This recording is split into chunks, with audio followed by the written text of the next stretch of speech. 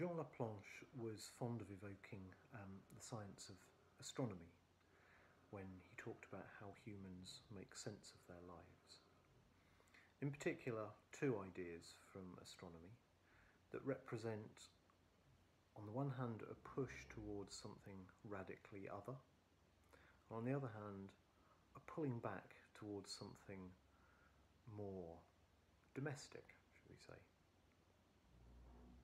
Now, as humans, we're bombarded, both internally and externally, by chaos, by images and feelings and ideas which don't fit together, which we can't make sense of. And this random parade of sensations, it makes us confused and anxious, and we wonder if our lives can have any meaning. But there's also this countervailing tendency. Something within us, it almost feels like it's inbuilt, that creates sense through storytelling, through narratives, through meaning. And this has a structuring function. It helps us to feel like we have a more or less stable idea of who we are, where we fit within the world, and where we might be going. And this struggle between, on the one hand, being showered by fragments of life where we can't find our place, and on the other hand, by creating this fixed world where we can stand in the centre of things. This is akin to the struggle between two groups of astronomers, the Ptolemaics and the Copernicans. Now, Ptolemy um, was a, a mathematician and an astronomer in Alexandria in Egypt in the second century. And he believed that all celestial bodies revolve around the earth. In other words, he believed that the earth lies at the centre of the universe.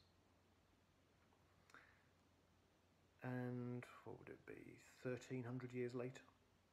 This is the Ptolemaics are, are dominant within astronomy for the next 1300 years, and then Nicolaus Copernicus, uh, a Prussian astronomer, comes along, and he comes up with an alternative model where the universe, um, where, where the stars and the planets of our solar system revolve around the sun and not the earth. Um, in fact, Another astronomer called Aristarchus of Samos had come to the same conclusion about 2,000 years earlier, but Copernicus arrived at his conclusions independently of Aristarchus. He hadn't read Aristarchus, I believe, so this is what this is what Copernicus came up with in the 16th century, and it was extraordinarily radical and controversial, um, and even sacrilegious. Now, at first, this debate sounds like an argument um, between which body is at the centre of the universe. Is it the Earth or is it the Sun? But in fact, Copernicus challenges the very idea of a universal centre, challenges the idea of the, of the, of the universe having a centre to it. And he I think during the course of this 1300 years between Ptolemy and Copernicus, um, previous theories of how planetary bodies, celestial bodies, move in relation to each other had collapsed through observation.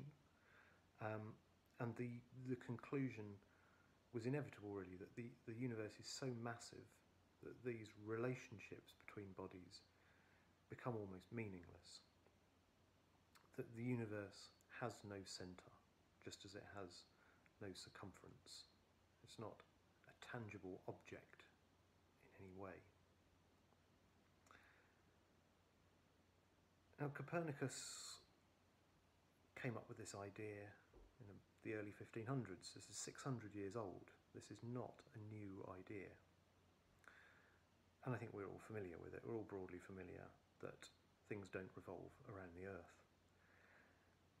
And yet, try as we might to understand this theory, and particularly this insight that the universe has no centre, if we are asked to visualize the universe I think inevitably we tend to fall back on some sort of image of a space that has parameters, it has fixed orbits, it has a centre, it has a structure.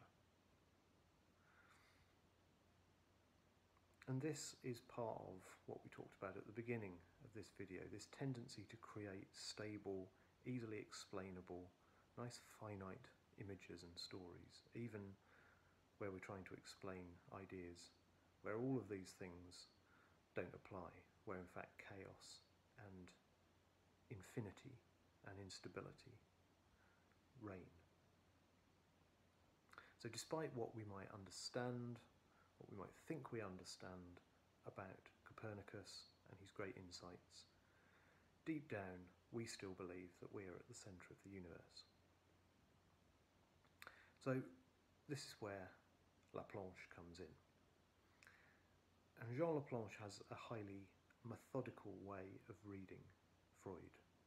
Um, he, in his own words, he sets Freud to work he looks for the places where Freud contradicts himself or trips himself up or goes astray, reaches a dead end. He doesn't do this to embarrass Freud or to highlight his lack of rigour or his inconsistency. He underlines these places where Freud contradicts himself or struggles to make sense of things, he underlines them because these are the really fertile ground for us to learn something new, if only we don't, if only we're not in too much of a rush to, to draw a conclusion. If we're prepared to be patient and to read in the way that Laplanche does. And what Laplanche does, he, he analyses, he, he breaks things up, he loosens what he reads in Freud's texts just as the analyst loosens and breaks down the text of what he hears he's patient talking about. And one of Laplanche's conclusions is that if Freud is, is his own Copernicus, he is also his own Ptolemy. Now, early on in his clinical practice, um, in particular with neurotic patients, Freud has discovered that man is not the centre of his own universe. Unlike Copernicus, um, who in fact there's, there's a line which is often cited um, where Freud claims that psychoanalysis follows in this tradition of Copernicus and Einstein, not Einstein, sorry, Darwin, um, in decentering man. I'm not sure that Freud ever quite says this, perhaps he does. Anyway, um, like, like Copernicus, Freud sees that what we consider to be at our core, these innate, highly individual, highly personal thoughts and fantasies and feelings, particularly feelings about sexuality, all of these are far from innate. In fact, they come from elsewhere, they come from outside. Freud's id, this great reservoir of libido, this great reservoir of the drives, is like a foreign body that's within us. Freud, in fact, writes, we are, we are lived by unknown and uncontrollable forces. It shot through me, people say. There was something in me at that moment that was stronger than me. But, like Ptolemy, Freud also seems to recoil from this decentered vision. He sometimes balks at the idea that our unconscious is something other, something impersonal, an it, or a thing, like in the John Carpenter film. And in the end, by the by the 1920s, but the seeds of this were there all, all along.